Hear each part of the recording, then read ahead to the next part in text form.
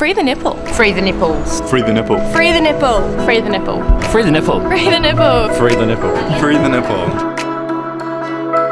So what's the first thing that comes to your mind when I say feminism? Um, free the nipple, probably. You know, a guy can go to the beach topless and no one bats an eyelid, and a girl does it, and it's like the end of the world. So. Feminism, a word that is becoming more commonly used in today's society. But what exactly is it? Free the nipple is a concept which began in 2014 after Lina Esco film Free the Nipple and is most identifiable with feminism.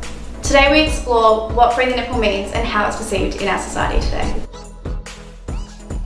We sat down with self-proclaimed feminist Katie Swan and asked her just what is feminism and how free the nipple fits in. Um, so to you, what does feminism and being a feminist mean? There are two kinds of feminists.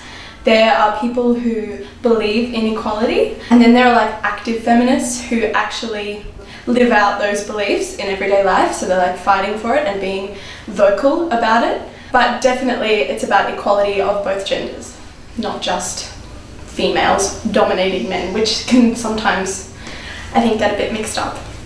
What are your thoughts on the free the nipple concept and how exactly does free the nipple tie in with feminism? It ties into feminism in the fact that if a man can walk down the street and be bare chested, then a woman should be able to do exactly the same thing. There shouldn't be a double standard.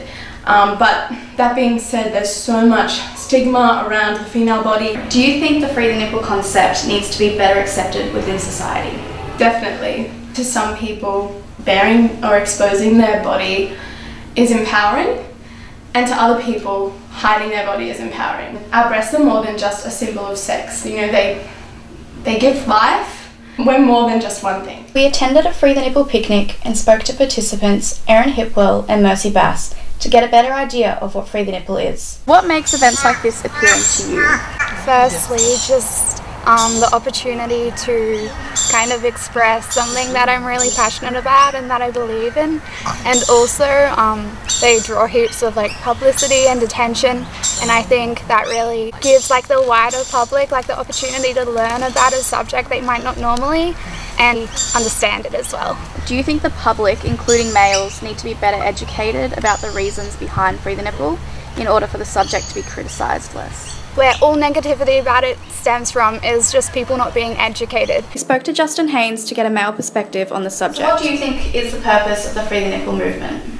Yeah, so basically, I think there's sort of two sides to the Free the Nipple movement. One being that um, it's just the equality between men and women, um, which is sort of the belief that I have. But there's another movement that sort of seems there's quite a bit of anger towards mainstream men and the media perceiving um, women sort of in a bad way, which I don't necessarily think is too productive for, for the movement itself, for feminism in general as well. Would you say that allowing women to freely expose their breasts in public and social media is something that is achievable in the future?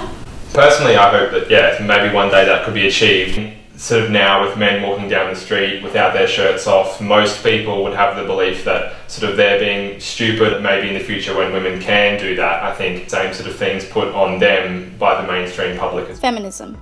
Free the nipple. Phrases which in today's society are becoming more commonly used. While there are many differing opinions on the matter, it is clear that it is a subject which raises mass discussion among society. But at the end of the day, it's all about equality.